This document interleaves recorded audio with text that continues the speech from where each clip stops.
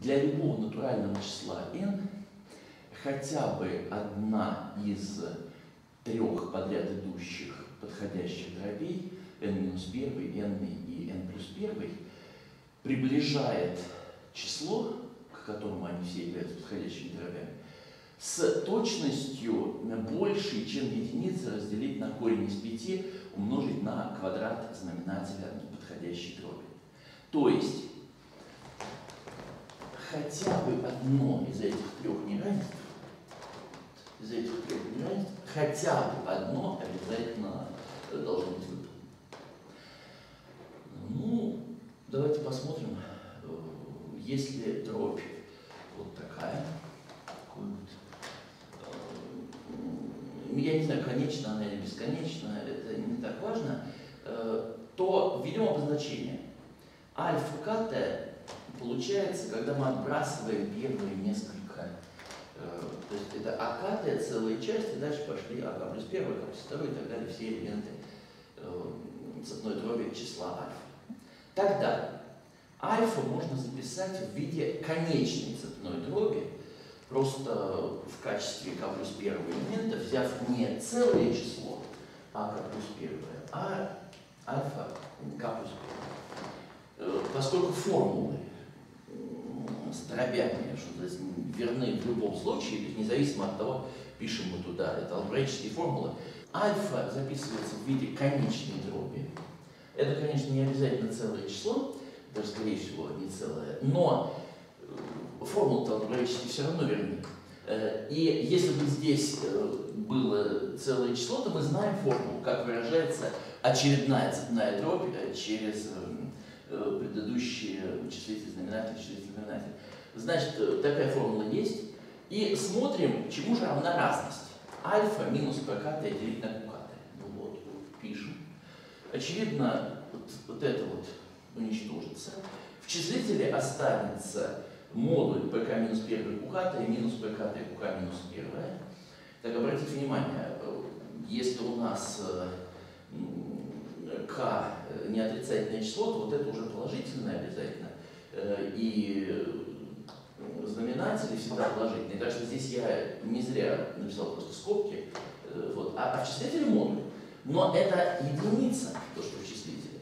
Потому что это одно из основных равенств э, для соседних подходящих дробей.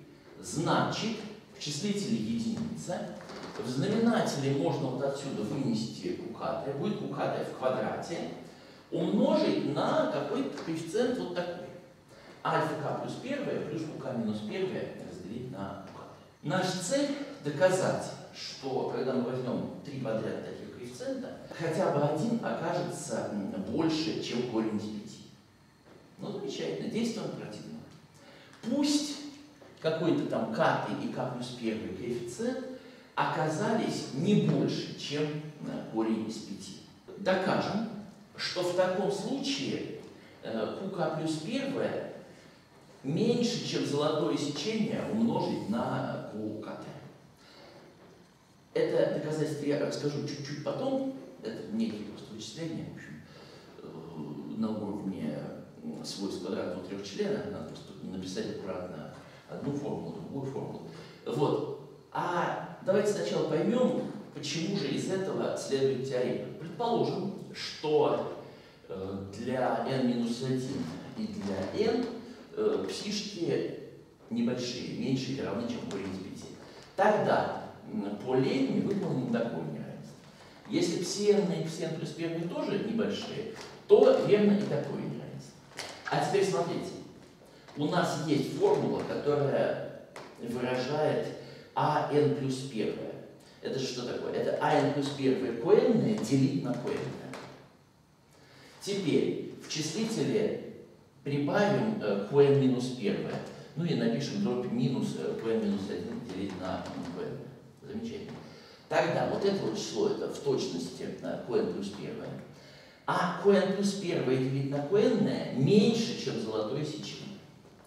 А вот это вот э, qn минус первое делить на qn у нас наоборот будет больше, чем единица делить на золотое сечение, а из-за того, что минус, то вот такое неравенство можно написать. осталось проверить, что когда вы из золотого сечения вычитаете единицу делить на золотое сечение, получается единица. Это, собственно, то самое главное свойство золотого сечения. Вот. Ну, если кто наизусть не помнит, то просто-напросто приведите к общему знаменателю. Честное слово, у вас все получится. Получили АН плюс первое меньше, чем золотое сечение минус единица делить на золотое сечение. То есть меньше, чем единица. Поскольку все элементы цепной дроби, э, кроме э, первого, это положительные целые числа, то не может быть АН плюс первое меньше единицы. Доказываем лемму. Обозначим x, это qk плюс первое разделить на ukt, вот это вот число, это x, Наша цель доказать, что x меньше, чем золотое сечение. Мы при этом знаем, что вот это и k плюс первое такое число не больше, чем корень из 5. Пишем эти неравенства.